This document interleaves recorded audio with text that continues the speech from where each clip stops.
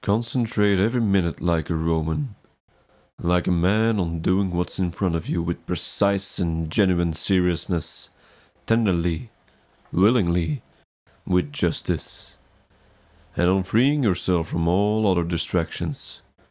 Yes, you can if you do everything as if it were the last thing you were doing in your life.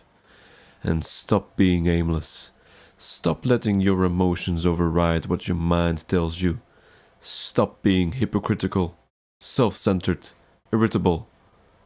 You see how few things you have to do to live a satisfying and reverent life?